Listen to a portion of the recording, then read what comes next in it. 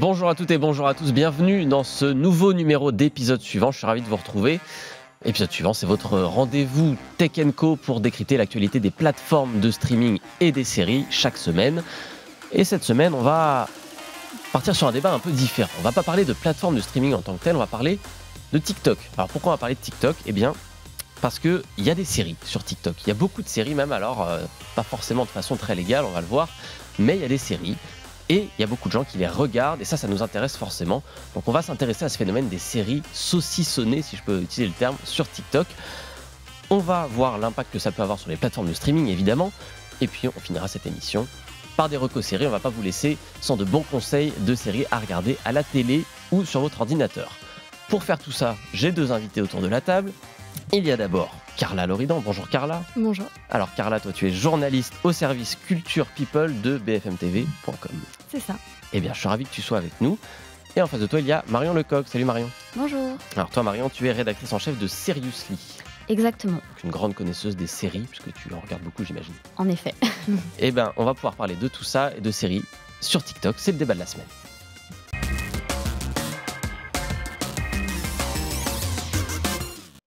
Alors, si on parle de séries sur TikTok, c'est grâce, à cause, on verra bien, de toi, Carla, puisque tu as publié un long papier, une enquête sur le site de BFM TV que j'ai beaucoup aimé. Et c'est pour ça que je voulais t'avoir en plateau pour décortiquer ce phénomène des séries qui envahissent TikTok. Alors déjà, on va faire un peu le point. Qu'est-ce que ça veut dire? De quoi on parle quand on dit qu'il y a des séries sur TikTok? Alors en fait, depuis plusieurs mois, il y a une véritable tendance qu'on retrouve sur TikTok. Et en fait, c'est des euh, films, séries qui sont disponibles en intégralité sur la plateforme, mais qui, du coup, pour respecter les normes de TikTok, sont découpés en plusieurs morceaux. Donc, ils peuvent aller jusqu'à euh, 10 minutes. Et ces vidéos, elles cartonnent sur la plateforme. Il y a des milliers, voire millions de vues. Et alors, en termes de contenu, on y retrouve vraiment de tout. Et c'est ça qui est hyper intéressant. On y retrouve à la fois des films, des séries, des documentaires, des extraits d'émissions et euh, à la fois des contenus donc, qui peuvent être euh, plutôt euh, anglophones, Mhm. des séries américaines du type Euphoria, Le jeu de la dame, Mercredi. mais aussi, des, ce qui est aussi très intéressant, des contenus français. Pour faire du coup mon papier, je suis tombée sur des, des comptes qui publient par exemple l'intégralité de la saison 2 de Scam France ou l'intégralité d'une saison de Clem par exemple. Et, et ce qui est aussi euh, hyper, euh, hyper intéressant, c'est que euh, il y a à la fois du- donc des séries hyper récentes qu'on peut retrouver sur les plateformes, mais aussi des contenus un peu plus anciens. Il y a des séries comme Desperados Waves, des séries comme Chicago Med. euh, et du coup, tout ça, bah, ça, ça prend de l'ampleur sur TikTok et euh, il y a une véritable, un véritable engouement en fait autour de, de ce type de contenu. Alors, ce qu'on voit aussi, c'est que tu l'as dit, c'est pas des épisodes entiers postés d'un coup, et Mhm. parfois même, il n'y a pas forcément tout l'épisode dans les extraits. Mhm. parfois, un épisode va être découpé en 30 morceaux d'une minute, alors qu'il fait, euh, alors qu'il fait 40 minutes, parce qu'il y a des moments de blanc. C'est un peu les moments où nous, justement, on passe sur TikTok quand on regarde sur Netflix parce qu'on s'ennuie. Mhm. Euh, c'est un peu aussi ça le, le jeu de, de- de garder, on va dire, la substantifique moi, l'essentiel aussi de ces séries, de ces films, c'est ça hein? Oui, c'est ça. Et en fait, ces moments justement marquants, et ben, c'est ces moments qui comptabilisent en fait le plus, le plus gros nombre de vues et qui vont en fait remonter via l'algorithme sur nos pages d'accueil et qui, euh, qui vont en fait nous faire découvrir des séries euh, par ce principe. Quoi. Alors Marion, toi, tu es journaliste série, on l'a dit, tu regardes beaucoup de séries de façon assez classique sur les plateformes, sur ton ordinateur, sur ta télé. Euh, tu as aussi un compte TikTok. Est-ce J'ai que, un compte. est-ce que ce format de série, c'est quelque chose que tu as vu passer? Est-ce que c'est quelque chose qui t'interpelle comme phénomène? Comment tu vois ça, toi? Euh, alors, j'ai pas vu passer euh, ce, ce phénomène sur ma page TikTok. Il m'arrive parfois d'avoir des extraits de films ou de séries, mais je suis jamais tentée ou j'ai jamais vu la notion euh, film complet. T'es jamais rentré dans la spirale d'en regarder un, puis de, de Non, parce continuer l'extrait euh, en scrollant Je- si je suis totalement honnête, même parfois quand il y a des vidéos qui sont en deux parties, j'ai la flemme d'aller chercher la partie 2. Donc c'est plus. euh, moi, je, je- on va dire que je tombe là-dessus parce que je suis contente de revoir des scènes que Ouais. j'aime beaucoup et ça me Mm. fait plaisir de les revoir et je me dis, ah, c'est vrai que. Et, mais je suis jamais tombée dans le. Je vais regarder en entier. Et je connaissais pas en fait ce, ce phénomène, donc ça m'a assez euh, interpellée. Et j'ai trouvé ça très curieux parce que je me dis comment on peut avoir la patience de scroller autant de vidéos en fait euh, pour tout voir. Oui, finalement, c'est un peu le débat de est-ce que c'est plus simple de la regarder d'un coup sur son canapé avec Mhm. des conditions de visionnage, on va dire, optimales, avec de la- l'ultra HD, la qualité, etc., le popcorn, ou est-ce que finalement c'est plus simple de les regarder par petits bouts Certes, sur un téléphone, la qualité sera moindre, ou voilà, on n'aura pas le grand écran, on sera peut-être dans les transports, dans le métro, entre deux trucs. Voilà, c'est un peu le débat. Euh, faut pas juger ni l'une ni l'autre des pratiques, mais on est vers un changement aussi, euh, quelque part, de consommation. Mhm. Euh, Il y a déjà des gens qui regardent leurs séries sur les téléphones, déjà, il faut Mhm. rappeler hein, que beaucoup de gens regardent Netflix sur le téléphone, dans le métro, dans le bus, etc. C'est un peu l'évolution de ça aussi, quelque part, non, Carla Ouais. Bah, en fait, euh, moi je trouve que l'usage en soi, il n'est pas différent de l'usage de base qu'on fait de TikTok parce qu'on scrolle, on regarde. Et, et, euh, bah, moi qui suis euh, très, très consommatrice de, de- de vidéos sur TikTok, ça m'arrive des fois de passer des heures sur la plateforme. Et au final, bah, quand on regarde un, un épisode d'un- d'un- d'une série ou un film en entier sur TikTok, bah, ça représente plus ou moins le, temps que moi personnellement j'aurais passé sur la plateforme au final. Et puis euh, on est dans le métro, c'est simple de scroller, de se dire ah bah tiens, euh, il y a telle série que je voulais regarder sur Netflix là, elle est dispo à l'instant T où je fais mon trajet en métro euh, sur TikTok, bah, je vais la regarder. Ça va me prendre 40 minutes. Certes, c'est en partie, alors c'est pas très agréable à regarder, mais au moins c'est disponible et surtout, bah, c'est gratuit. quoi. Ça, c'est pas faux. Et si c'est gratuit, c'est qu'il y a un problème. Ouais. C'est parce que c'est complètement illégal, quand même, Mhm. malgré tout. On va le rappeler, Marion. Les plateformes, elles font des séries, elles payent pour ça. Et nous, on paye pour les regarder normalement. Il n'y a aucune raison que Foria se retrouve euh, sur TikTok aujourd'hui. Non, en effet, mais après, je peux comprendre euh, le point de vue. Euh, on est quand même sur une, une offre de plateforme où il y en a de plus en plus.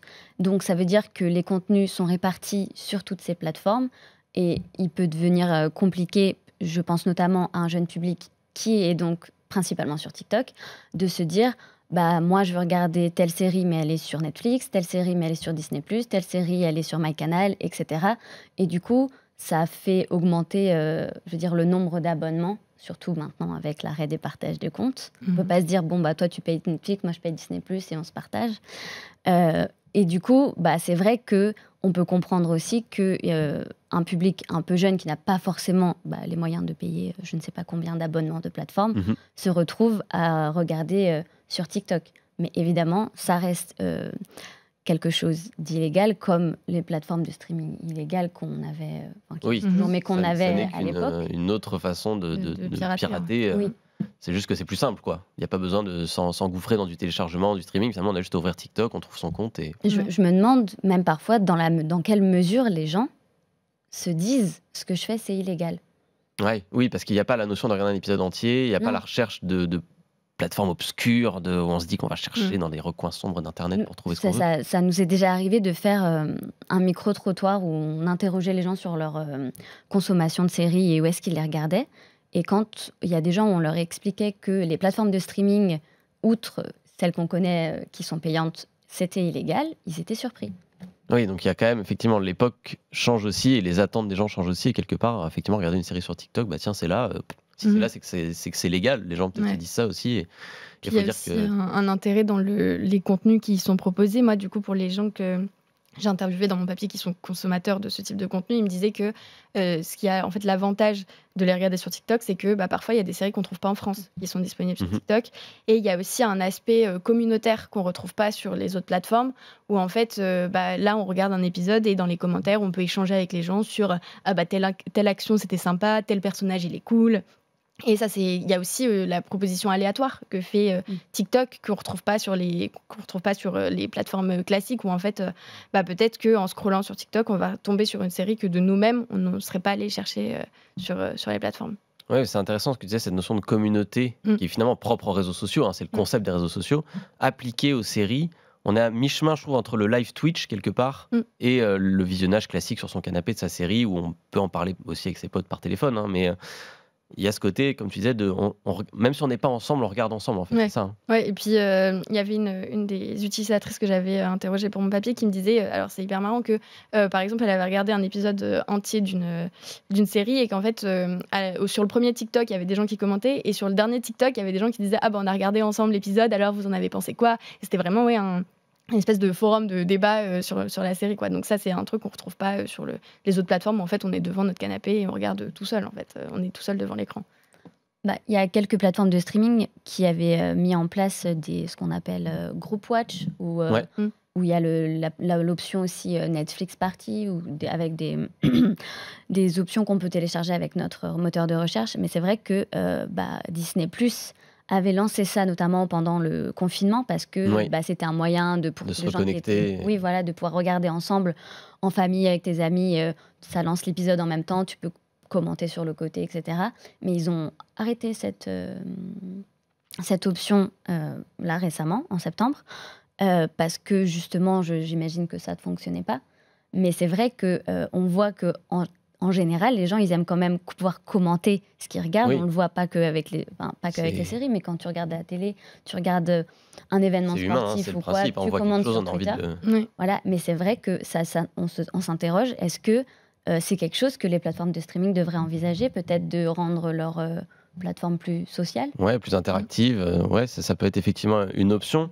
Euh, Au-delà de ça, il y a quand même effectivement euh, un point intéressant, c'est que certes c'est illégal, certes ça ne devrait pas exister si on s'en tient aux pures règles du droit, Mhm. mais les studios commencent un peu à se dire, Ah, il y a quelque chose à creuser. On le lit un peu dans ton enquête, Carla. Ouais. Euh, Il y a eu des studios qui en ont profité de cette, cette trend TikTok Mhm. pour justement euh, mettre en place des plans marketing, des sorties, etc. Raconte-nous un peu ce que Bah oui, parce que bah, les, là-dessus. les- les studios se rendent compte qu'en fait, bah, il y a des vrais, une vraie communauté qui est à la recherche de ce type de contenu. Et euh, bah, on témoigne les chiffres dont je parlais tout à l'heure. Et, euh, et du coup, il y a des studios. Là, par exemple, il y a le euh, Paramount qui, pour les. la- Enfin, en fait, il y a une. Euh, en gros, c'était pour une, anecdote, une mention dans le film Mean Girl où il mentionne la date du 3 octobre. Mhm. Pour fêter cette date-là, bah, le 3 octobre de cette année, ils ont publié l'intégralité du film euh, sur euh, TikTok, mais du coup en format euh, saucissonné. Et euh, bah, les chiffres euh, étaient là. En fait, en, moins d'une journée, je crois qu'il y avait plus de 60 000 abonnés au compte. Et euh, les vidéos ont fait plus de, milliers, voire millions de vues pour chacune d'entre elles. Et il y a aussi pour, pour les séries, je crois que c'était l'année dernière, la plateforme Peacock qui, euh, pour faire la promo de la deuxième saison de la série Killing It, euh, a publié le pilote en fait de la première saison sur TikTok en entier, et ce qui du coup leur a apporté bah, énormément de public euh, pour euh, pour la promo de la deuxième saison. Donc on voit que euh, donc il y a une vraie demande et que c'est intéressant aussi. On parlait des commentaires. Euh, c'est intéressant aussi ça pour les, les producteurs de séries parce que bah, c'est des réactions en direct euh, de- pour savoir euh, quel type d'action va fonctionner, euh, quelle, oui, quelle, quelle intrigue, quel moment clé de la série fonctionne mieux. Et eux aussi, ça, c'est des données qui sont précieuses et que, qui- Ouais. qu'ils ont gratuitement pour pouvoir ensuite, eux, bosser sur leur série ou améliorer ou changer quelque, quelque Oui, chose. c'est carrément un sondage en direct en fait. Mhm. Quoi. Ils savent déjà euh, ce que les gens ont pensé. Et, euh, c'est des, des méthodes qu'on trouve notamment dans d'autres pans de la culture. Ça me fait beaucoup penser au manga, notamment Mhm. euh, fait que chaque semaine, les lecteurs notent entre guillemets ou disent qu'ils ont bien aimé, etc. Là, on se retrouve un petit peu dans cette idée-là de de voir jusqu'à quel morcellement de la série les gens vont. Est-ce que Ouais. à partir du morcellement 20, ils arrêtent, etc. Ça peut être intéressant. Il y a aussi des exceptions, parce que là, on parle de choses assez temporaires, de coûts marketing, si je puis dire, de, Mhm. pendant quelques jours, on met ça en ligne, puis on l'enlève, parce que bon, bah, les droits sont toujours, toujours valables, hein, malgré tout. Même si c'est le studio qui les met, euh, il y a quand même un moment où ils peuvent pas euh, tout faire.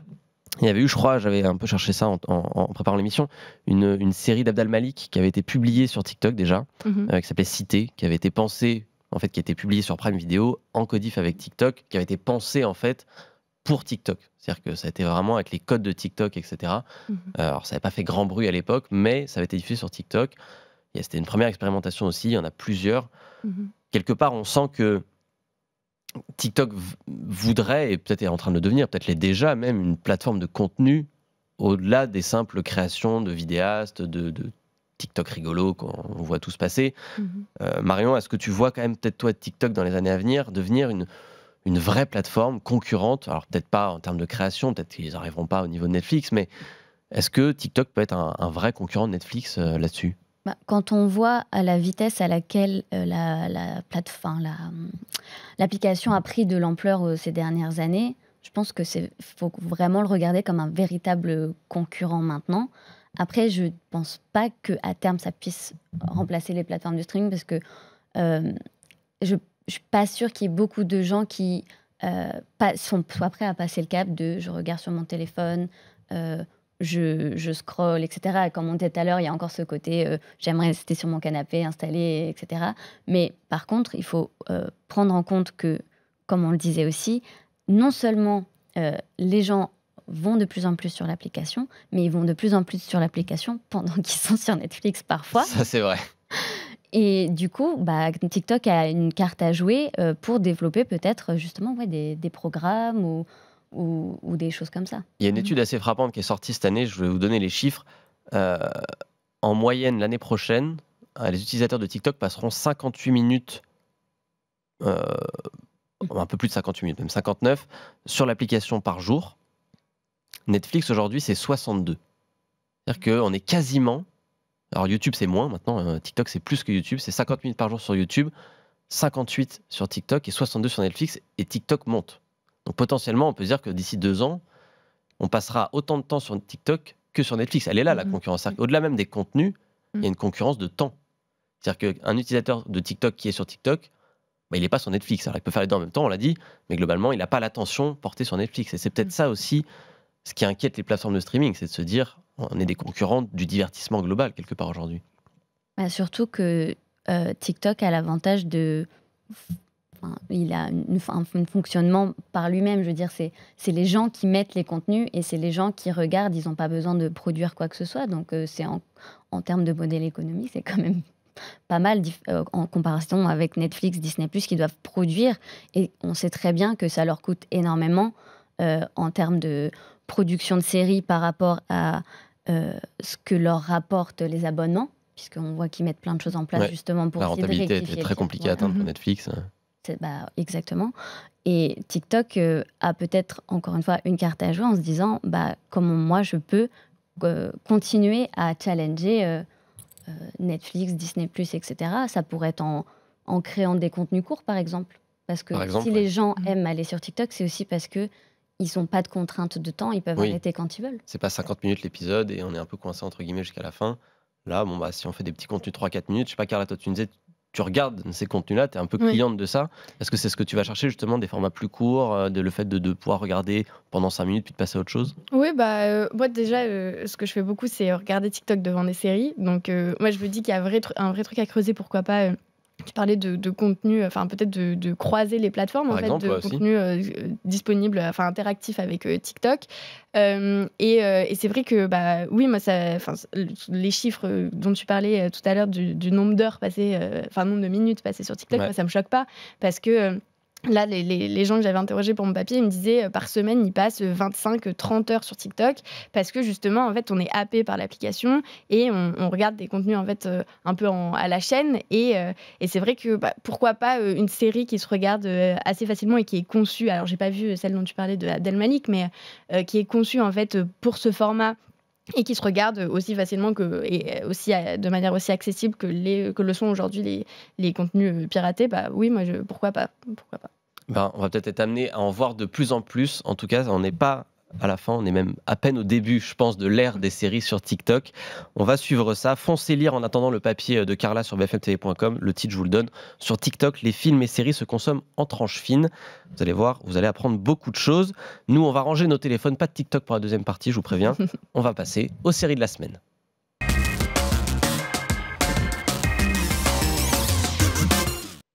Et je commence avec toi, Carla. Euh, tu voulais nous parler, nous recommander une série dispo sur MyCanal, ça s'appelle Narvalo. Ouais, alors euh, c'est une série qui m'a été euh, conseillée il y a quelques, quelques semaines par un ami.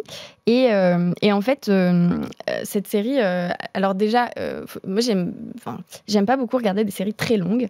Et du coup, c'est le premier avantage qu'il m'a dit, c'est en fait c'est une série qui est très courte. C'est des épisodes qui vont de 10 à 20 minutes.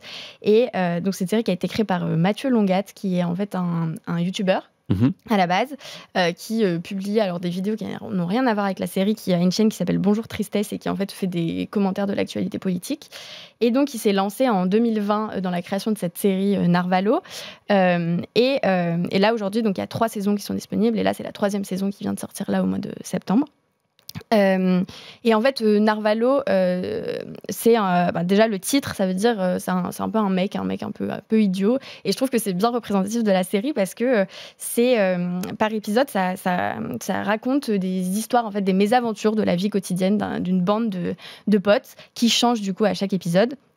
Et, euh, et c'est en fait euh, hyper drôle. C'est des histoires. euh, moi, je trouve la force de cette série, c'est que c'est hyper réaliste et humain. En fait, c'est des gens qu'on pourrait connaître. En fait, C'est des histoires de être, galères en fait. Ouais, voilà, c'est ça, c'est des tous. galères qu'on a tous. Il y a des histoires de dates qui tournent mal, des histoires, pas, de- d'accidents de, voiture, des histoires de, ouais, de, de- là on le voit, il y avait euh, des histoires de quelqu'un, enfin, un mec complètement bourré qui veut péter un mur. Enfin, c'est c'est des histoires un peu, euh, ça va dans tous les sens et euh, Mais oui, je trouve que la force de cette série, c'est vraiment euh, euh, que bah, déjà, euh, oui, c'est le casting est hyper humain, c'est hyper bien joué, c'est hyper, hyper vivant, c'est hyper dynamique vu que les épisodes sont très courts.